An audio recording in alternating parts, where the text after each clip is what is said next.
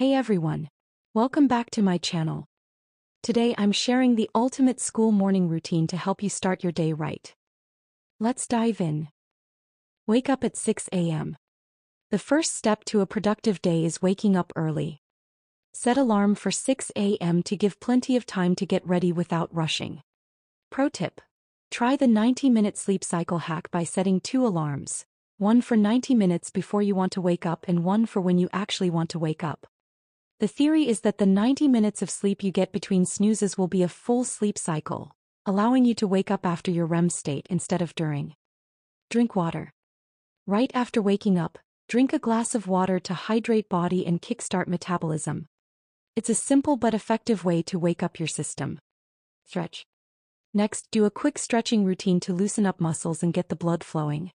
It helps feel more awake and ready to tackle the day. Pro tip.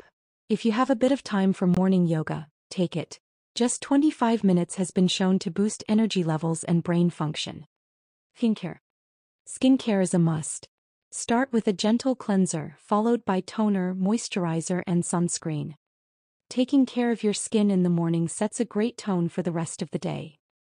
Get dressed. After skincare it's time to get dressed.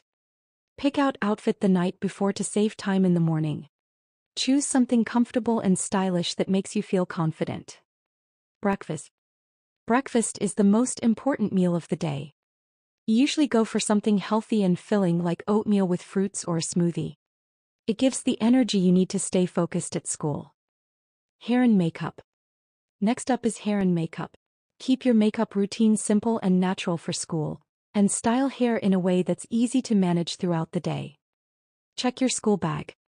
Before leaving, always check school bag to make sure you have everything you need books, notebooks, pens and any assignments due that day. Positive affirmations. Positive affirmations are a great way to boost your mood and confidence. You take a moment to say a few affirmations to yourself, like, I am capable, and today is going to be a great day. Leave for school. Finally, it's time to head out the door. Make sure to leave a little early to avoid any last-minute rush and to start my day calmly. Bonus tip. If you have extra time, try to fit in a quick review of your notes or read a book.